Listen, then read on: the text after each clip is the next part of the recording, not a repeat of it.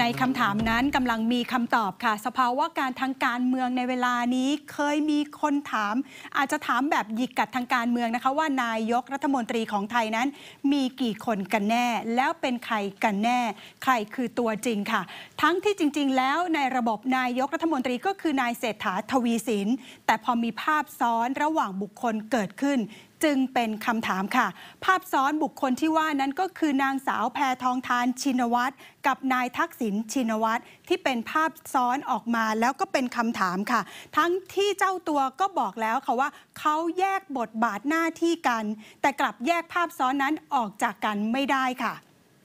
ภาพซ้อนแรกค่ะต้องบอกว่าก็เป็นเพราะว่าทั้งนายเศรษฐาและนางสาวแพทองทาน กลับผูกติดกันด้วยภารกิจราชการระหว่างนายกรัฐมนตรี กับนางสาวแพทองธารที่รับตำแหน่ง รองประธานยุทธศาสตร์ soft power และรองประธานคณะกรรมการพัฒนาระบบสุขภาพ งานคู่ก็มาค่ะ แต่ที่ถูกถามหนักขึ้นก็เพราะว่าดินเนอรรคร่วม ซึ่งผู้นำประเทศบอกว่าไม่ถนัดงานการเมือง แต่อิ๊งค์แพทองธารเป็นคนที่คุ้นเคยกับการเมืองมากกว่า แล้วก็มีคำชี้แจงออกมาว่า บทบาทหน้าที่แยกกันอยู่ จึงต้องออกงานคู่ แต่ก็ไม่มีใครมีอำนาจมากกว่ากัน และไม่มีใครเด่นไปกว่ากันค่ะอ๋อไม่ไม่มีแล้วครับ เพราะว่าคุณอุ้งอิงกับท่านนายกเนี่ยคุยกันดีตลอดนะครับ แล้วเราก็รู้ว่าเราก็ช่วยกันแบ่งหน้าที่ เพราะฉะนั้น หน้าที่ตามที่แต่ละคนรับผิดชอบเนี่ยอย่างผมเองเนี่ยผมก็ห่างจากพักมา เพราะว่าต้องมาทำงานบริหารนะครับแล้วถามผมเรื่องพักรายละเอียดบางทีผมก็ไม่สามารถตอบได้นั้นเรื่องพักตอนนี้คุณนุ้งยิ่งรับเป็นเป็นเป็นหลักในการที่จะพัฒนาพักให้เข้มแข็ง ทางท่านนายกก็บริหารราชการแผ่นดิน โดย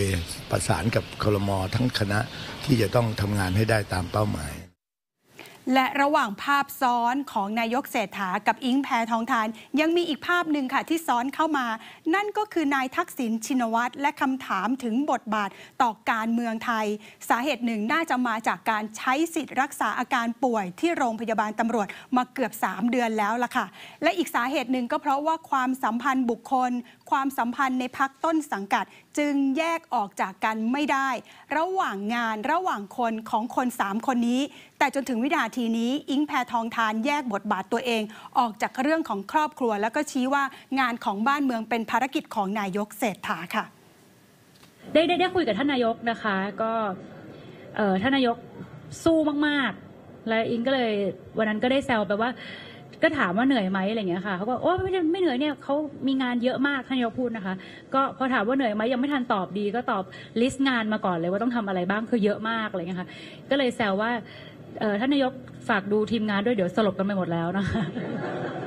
ยังแซวให้บอกเพราะไม่เป็นไรทุกคนก็ผัดพักได้ท่านท่านสู้จริงๆอะค่ะ แล้วก็ฟิตมาก อันนี้ก็ขออนุญาตชื่นชมผ่านสื่อมวลชนไปด้วยแล้วกันว่าขยันมากจริง ๆ ค่ะ ก็ฝากพี่น้องประชาชนช่วยให้กำลังใจท่านด้วยนะคะ ท่านก็คงอยากทำงานให้เต็มที่ เพื่อที่จะทำให้เราไปถึงจุดที่ดีขึ้นเรื่อยๆนะคะ ให้ประเทศเราดีขึ้นเรื่อย ๆ เอาละค่ะ ทีนี้ข้อสังเกตที่ว่านี้ ผู้ช่วยศาสตราจารย์ทวีสุรฤทธิกุล นักวิชาการด้านรัฐศาสตร์ชี้ว่า เป็นภาพซ้อนที่สะท้อนความสัมพันธ์และเหนือสิ่งอื่นใด กรณีของอดีตนายกทักษิณกำลังเป็นคำถามสำคัญ ถึงกระบวนการยุติธรรมที่ไม่เท่าเทียมหรือไม่ มีการเมืองในกระบวนการยุติธรรมเกิดขึ้นหรือเปล่า และผู้คนในสังคมกำลังสำคัญผิดในตัวบุคคลหรือไม่ ตลอด 2 เดือนของรัฐบาลเพื่อไทยและ 90 วันของนายกทักษิณในโรงพยาบาลตำรวจ หรือว่าเส้นทางทางการเมืองของนางสาวแพทองทาน อาจารย์ชี้ว่ามีวาระอำพรางเกิดขึ้นค่ะ ขณะที่อาจารย์พิชัยรัตนดิลกณภูเก็ตใช้คำว่าอำนาจลึกลับ ตั้งเป็นโจทย์ที่แทรกไว้ในทุกบริบทของบุคคลทั้ง 3 คนนี้ คือนายทักษิณนายเศรษฐาและนางสาวแพทองธาร ทั้งที่ชี้ว่าเขาแยกบทบาทกันชัดแล้ว แต่ก็เชื่อว่าเชื่อมต่อกันด้วยเจตนา และหากจะฟันธงก็ยากจะประจักษ์ได้ว่าเกิดอะไรขึ้น ทั้งนี้ก็ประเมินสถานการณ์การเมืองไว้ด้วยว่า